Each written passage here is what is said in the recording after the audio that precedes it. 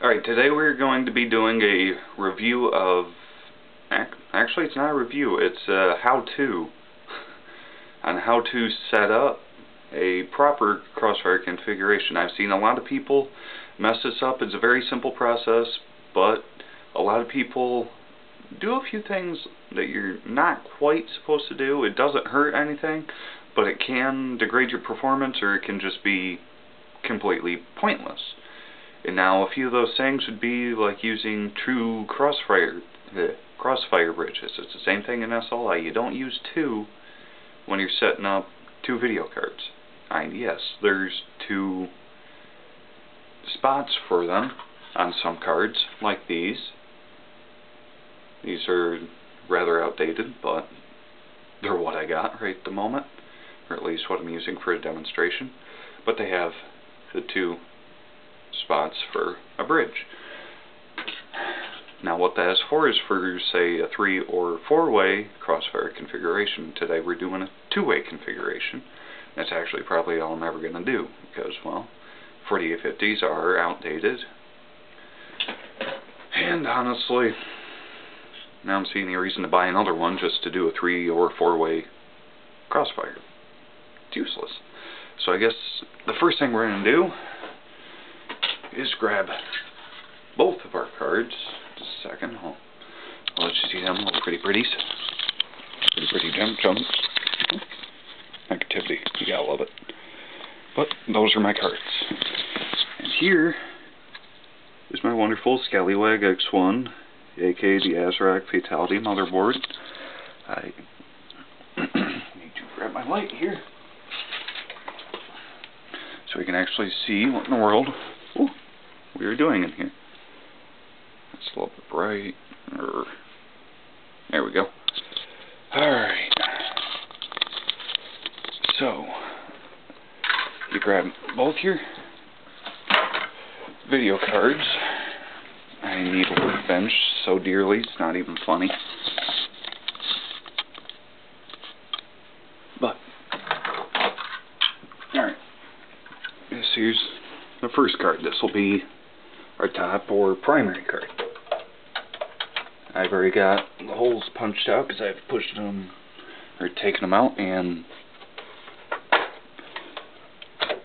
everything. But first thing you want to do is make sure that the card is all the way in, seated, locked in, and ready to go. Then take your handy dandy screwdriver, and if you're like me, complete and total klutz, dropping stuff everywhere.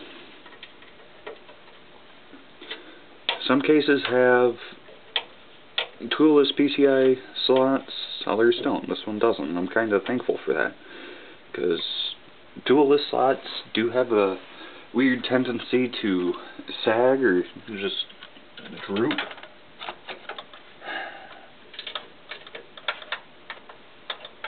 The bigger your card, the more you should probably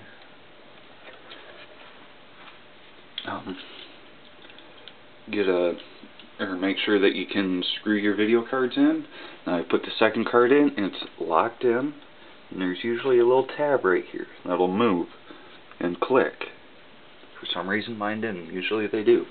But whatever, this thing's had more cards in it than, well, any other computer I found. But then once you get both cards in, it's really quite simple. Okay, now I'm going to show you the quick wrong way to do it because, well, I can because I had the stuff to do it. I got an extra crossfire bridge. If you're a silly goose and see one of these and think that that's usable for crossfire, it's not. It doesn't even fit on there correctly. That's an SLI bridge.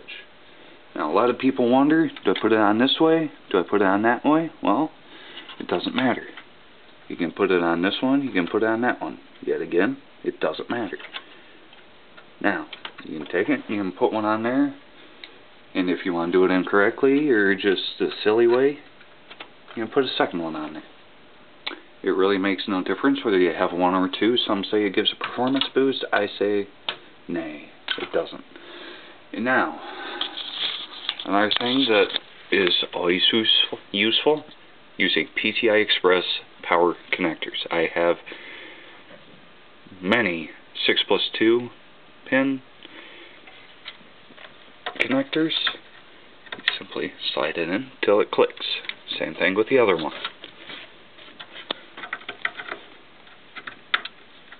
And it clicked. Cards are in there. They're all looking pretty. Now I guess the real main test would be putting power to it. Now you, it's one of those things I don't do because I've done this so much. I know when the system has power and when it doesn't. But I always highly recommend that you unplug your tower before doing anything like this because you can always get that wonderful blue smoke and if you let that escape your entire system you might as well throw it out the window. If it's just one component that you can see smoking, pull the plug on it. Don't worry about pushing the power button. It's not going to save you. You pull the plug on it. As soon as one component starts smoking, you might save your life, or not really your life, but your system's life. You'll just have to replace that one particular component that was smoking. But, you see the blue smoke? You better get working on your checkbook because you are going to be spending a little bit of money. See, these cards are really quiet right now. Honestly, I'm kind of glad of that. There's nothing in BIOS you need to set up, or at least there shouldn't be. What you do need to do is go on to, in this case, AMD.com and find either the Catalyst drivers or there's one other version out there, I'm not sure exactly what it is, or better yet, use the drivers that came with the video cards. They'll get you to a basic point of usability. If they don't have the drivers that are fully updated, update them there's always going to be a link in AMD drivers or drivers settings. Now, I skipped a pretty crucial step, and well, it's kind of a goofy thing, but plug in the video card to the top card. You plug it into the bottom card, and you're not going to get anything, and you're going to be sitting there scratching your head like, what in the world is going on? But we're inside the case. We are done, Houston. Now, we go on the computer. I'm sorry, I just love my keyboard. it's shiny. Then you go to Start, I already got it. AMD Vision Engine Control Center, that's the other one and you get something like this. And if you have an AMD board or that's rather new, you should already have this. Then you go to your performance category. It should give you AMD Overdrive, AMD Crossfire X, and possibly CPU power if you have an AMD board. You go to AMD Crossfire X, you click on Enable Crossfire, you click Apply.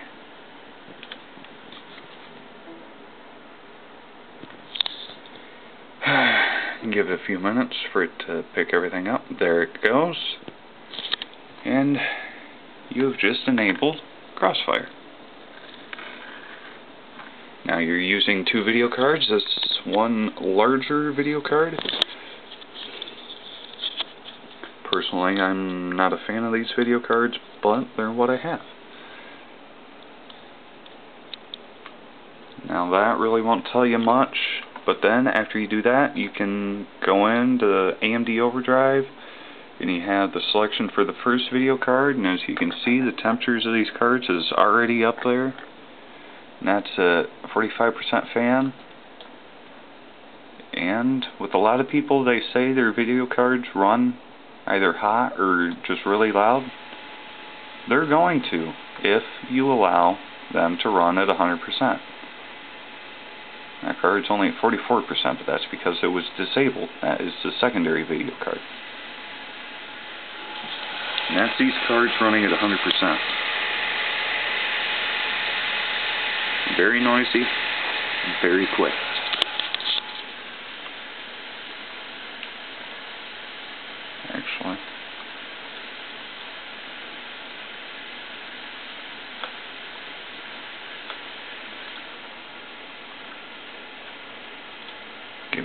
Moment.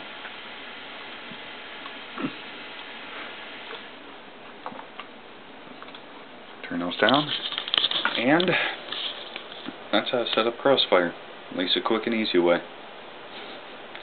Find your drivers, make sure they're updated. Otherwise, with Windows 7 and many other operating systems, you can get the classic black flash, where every now and then the screen will black or flash and it'll be black or white or it can have fragmentation, pixelation, all kinds of issues that you just don't want. So I guess this is Blue Panther Death signing off for today. This is my review of the week.